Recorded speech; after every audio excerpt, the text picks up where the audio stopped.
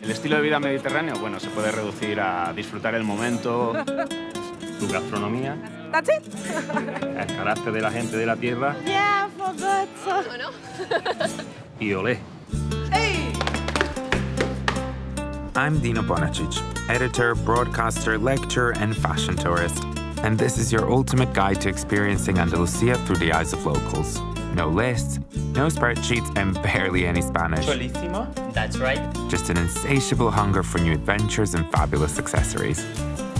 Join me on the Spanish Odyssey that embraces the unknown. Do you have any recommendations?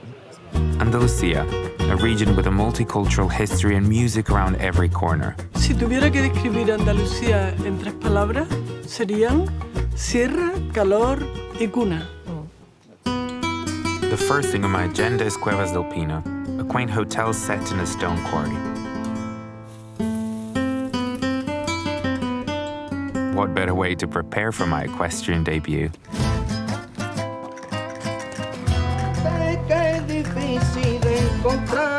Si Andalucía fuera un plato de comida, sería el gazpacho.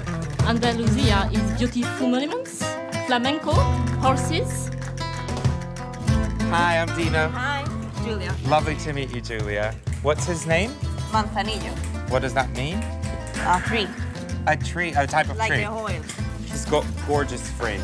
He's a real fashion horse. I've never ridden a horse, by the way. My first time, so I'm excited.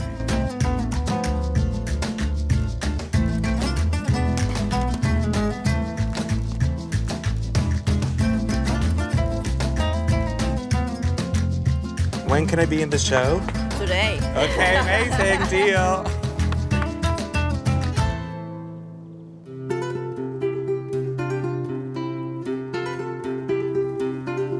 It's all about the charming, winding streets made for getting lost, friendly locals to get you back on track, and more fans and other accessories to help beat the heat. That's until I visited a local eatery with Paco Morales, a two Michelin star chef whose dishes bring stories of Andalusian past into the present. los mejores langostinos del mundo. Paco really taught me that a Spanish way of eating is a slow way of eating, which can be hard for me. Very hot, eh. Be careful, eh.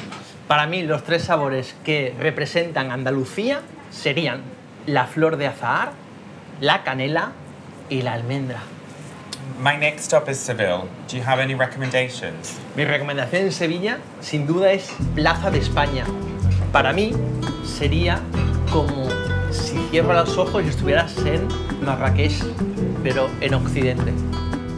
I could totally get used to a slower pace of life, but there's always more to see and do and learn. Andalucía en tres palabras sería belleza, historia y buena vida. Illustrator Anna Jarén promised me the most artistic walking tour of Seville. Tell me, Anna, where are we today? In Casa Pilatos, this gorgeous palace from the 15th century. It is so intricate. What is the most unique thing about Seville for you?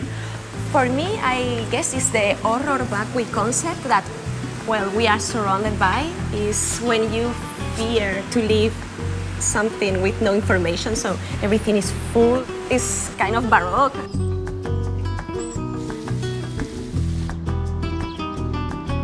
What are some of your recommendations um, of where I should go, what I should do while I'm here? Have you tried flamenco yet?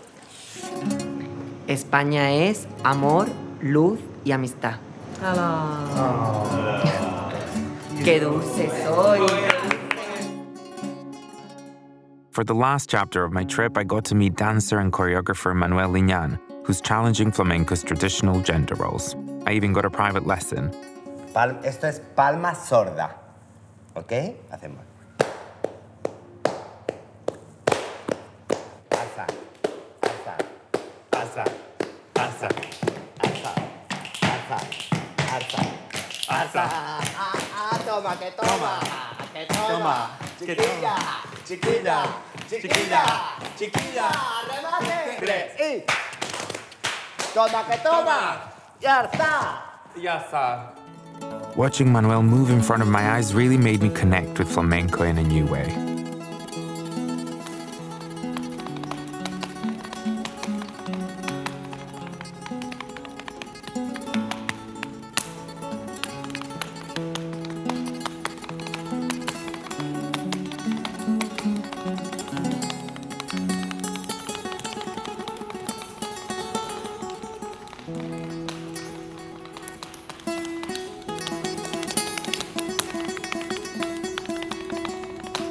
As this fashion tourist departs, my main lessons are talk to strangers, ask questions, and don't be afraid to travel alone. Spain is eating with friends, drinking with friends, and dancing with friends. Ole! Muchas gracias.